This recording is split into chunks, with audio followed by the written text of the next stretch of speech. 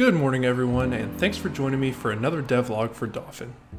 We're kicking things off just after 6 a.m. on Wednesday morning, and in this episode, I'm hoping to take the cave tile set that I started working on in the last video and use that to procedurally generate caves for the player to explore.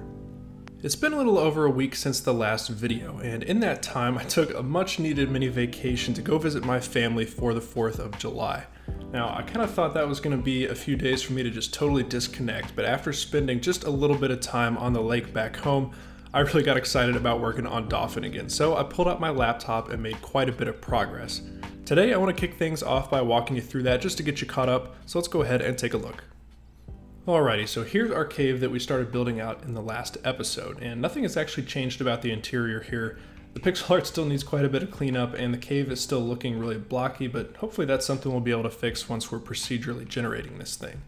What has changed in the past week is the fact that we can now enter and exit the cave. So we'll go ahead and walk through the door, and you'll see we transition to the beach. And there's a couple things going on here. First, you'll notice, of course, the scene changes, but we've also got this little transition that goes from bottom to top, as well as a title that slides down to show you what scene you've just loaded into. Now, this transition I think is pretty cool, cooler than a fade to black, but it is a little bit busy, so I'm really curious to hear what you guys think. In any case, it's just the last foundational piece we needed in order to create a cave and be able to enter it. So at this point, I'm feeling slightly more ready to go ahead and try to actually procedurally generate that cave. If you're curious about the method I chose to change scenes, I've basically just created an auto-load singleton world manager type of class. Now this thing is always sitting in the background ready for me to use, and it just has two responsibilities. The first and most important one is to kind of free up the current scene and load a new one, of course. But the other responsibility is to store a reference to the player from the old scene so that we can move the player from the old scene to the new scene as is without having to instantiate a new one. Pretty simple and not too many lines of code, so I was happy with that solution. So, what's the plan for procedural cave generation? You may remember this little demo that I used in the last episode, mostly made by GD Quest and adapted to my project to create this square level with a path from somewhere on the top to somewhere on the bottom. I really like how this works, and I think I should be able to modify it to kind of remove all the extra stuff around the sides of the path that I don't want, and ultimately just have a linear path from top to bottom of the cave for the player to explore. It's definitely worth mentioning that a lot of you suggested the use of cellular automata for cave generation, and I learned a little bit more about that, and I think you're completely right. That looks like a really cool way to do this. That's something that I'm going to explore in the very near future. I just want to flesh this algorithm out a little bit more and see if I can adapt it to my needs because there are a few things I like about it. Perhaps the thing I like most is that it uses these predefined rooms to lay out the map. This means that I can add my own little flavor and touches to these rooms so that the whole map is not totally random and I can create some cool rooms here and there with special enemies or rewards or bosses or whatever. I think this will just be a cool way to kind of do a mix between handcrafted and procedurally generated. So I'm just going to try this way first. I have certainly talked long enough at this point. It's almost 6.30 now. Got a fresh cup of coffee and I'm ready to go heads down and start working on these caves. We'll catch up when I've made some progress.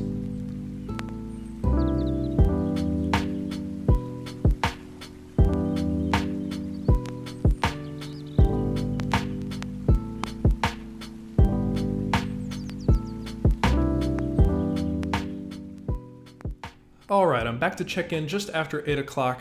Almost time to get ready for work, but I actually made quite a bit of progress on these caves, so I'm gonna walk you guys through that really quickly. I'm just to jump right in and launch my procedural cave scene so you can see what type of caves can be generated. This looks pretty similar to what we saw before. We've still got a big square tile map, but instead of having all these extra side rooms that the player could get lost in, we just fill those up with ceiling tiles so the player can't access them.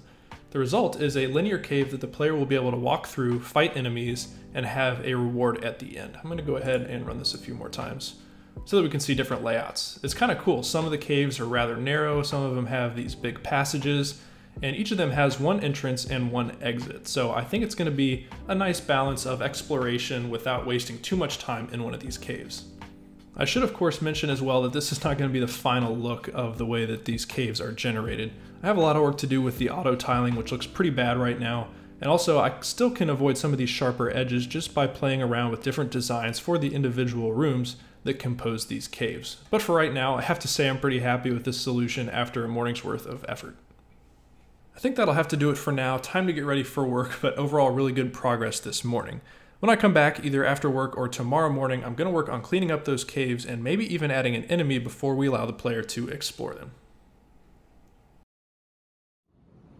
Welcome back everyone. It's just going on 6:30 a.m. on Thursday morning. I've only got about an hour before I work out, so I think I'm going to spend that time working on the artwork for the caves. Of course, trying to spruce up the rooms a little bit, but also improving the behavior of the auto tiling so that these rooms are laid out in a more aesthetic way.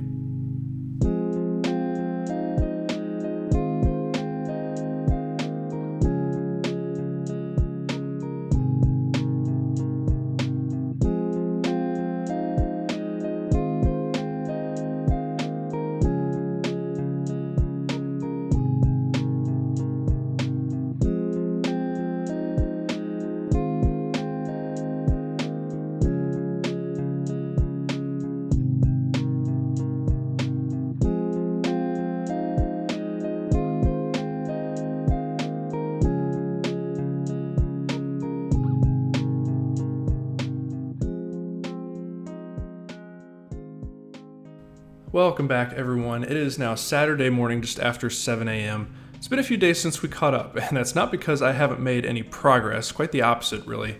I kind of went crazy over the past few days trying to get my level generation just the way I wanted it, and in the pursuit of that, I ended up rewriting the entire system from scratch. The result is something that's far more flexible in terms of creating new and different shapes for levels at the cost of taking a little more effort to set up for new level types. Let's go ahead and take a look. I'll start with a quick recap of the level generation system I was working with before and ultimately wanted to build upon. This is the demo from GD Quest that I showed you before, and this algorithm has two inputs. The first is a scene for the rooms, which contains all the different rooms that are actually used to build out the level. And the second is a grid size. And if we jump over to the demo here, you'll see how that grid size works. The first thing this system does is actually draw the grid and then create a path from some point on the top of the grid to some point on the bottom of the grid and fill in all the spaces around it. Now, this works really well for creating a path from top to bottom, but what I realized is that I don't really always want the player to have to travel from top to bottom in whatever cave or dungeon they are exploring. So here's my new system that tries to solve that problem. You can see here in the generate level function that the workflow is basically the same as it was before, but there's one main difference. If you look over here at the script variables, you'll see the inputs to my algorithm. The first is still the room scene, because I really like the idea of generating these levels from handcrafted components, but instead of specifying a grid size, we specify a path length. This value represents the length of the happy path that the player will have to travel to get from the entrance of the level to the exit. The first thing this new system does is take random steps to populate that path. It's not constrained within any kind of grid or anything, so the result are levels that can be really long and snake-like, which I think is awesome for something like a cave. Here's a pretty cool example of a level generated using this algorithm. The entrance is here on the left side of the level, so the player will have to traverse almost entirely to the right to reach the exit. It's important to note that the final shape here is not a square, it's a rectangle, and that's based off of the shape of this path. The first thing the algorithm does is draw the path, then determine the top left position of that path and the bottom right position. From there, we draw a grid to match whatever the general shape is, in this case, kind of an elongated rectangle, and then it fills in all the extra space here outside of the path, and ultimately finishes by drawing a border around it to create this nice clean shape. Writing this system from scratch was a pretty big task, but I have to say I'm thrilled with the results. I think the algorithm produces quite a nice bit of variety with the generated levels, and ultimately this thing is something that I built and fully understand so I'll be able to easily customize and extend it in the future. But wait, there's more. I was so fired up after getting that new system working that I just couldn't sleep without having the player be able to explore these new caves. So now if we're on the beach and we decide to enter this door here, we will appear in a never before seen seaside cave. So let's go ahead and walk through this thing. Looks like it opens up to a pretty big room here. Anytime two adjacent squares are drawn on the happy path, the system will take a chance to combine those rooms, which is what happens with these bigger rooms here. Looks like if we keep going up, it narrows out, takes us to the left, and I think the exit should be coming up soon. Yep, here is our exit. So if we go inside this exit, we'll just reappear at the scene that we entered from, in this case, the beach. So that was pretty cool. Really like how that turned out. This has been a crazy amount of progress for the past two days, but I'm not ready to end the devlog just yet. We all know no cave is complete without bats, so today I just want to have some fun creating a brand new enemy type for Dauphin. That said, it is just after 8 a.m. now, and I'd really like to get a run in before the heat of the day sets in, so I think I'm going to take a break and go do that, and we'll catch up sometime this afternoon after I've had some time to work on these new enemies.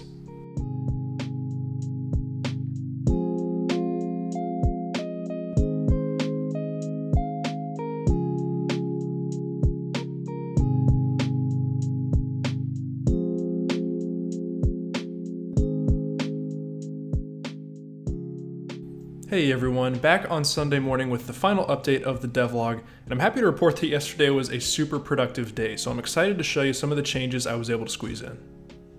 The main focus of yesterday was working on the first bat enemies for the game. Let's see if I can find one here in the cave. These are still going to require quite a bit of polish, but I have to say I'm pretty happy with how the first iteration turns out. Here is one now. You can see that these guys have a little more of an erratic wander pattern than the crabs do, and their attack pattern is a little different too. If I get within a certain range of this bat, he'll kind of flap his wings faster and charge up, and then lunge at the player. This is pretty cool, and really just amounted to a brand new state that I wrote for this bat state machine. If you're wondering how I'm spawning the bats in my procedurally generated caves, that's actually the easy part, because I've designed each of the rooms of the caves by hand. All I had to do was have certain rooms that actually contain instances of the bat scenes, and I've got a bunch of those. So if any of these rooms that contain bats are used to generate the caves, the bats will spawn.